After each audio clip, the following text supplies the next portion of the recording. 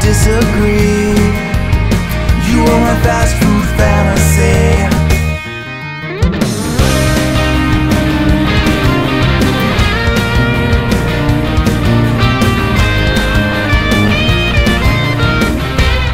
Number 12 here, and welcome back to another food review. Today we're checking out Tim Hortons Sugar Cookie. This is their one of their many items that they've released for the Christmas holidays, the Christmas goodies, and I've tried the sugar cookie donut, and now I'm trying the sugar cookie itself. So we're gonna try this and let you know what we think.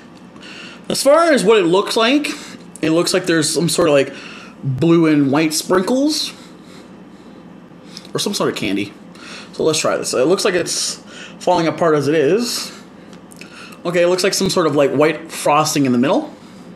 Let's try this. Very buttery.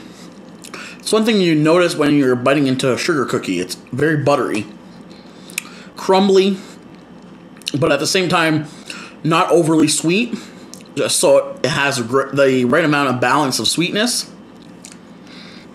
It's not bad. It's not like it's like awesome, but it's not bad.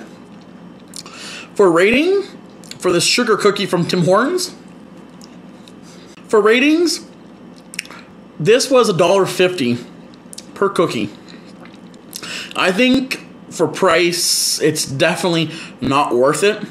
But to try it because it's the holidays I would recommend it.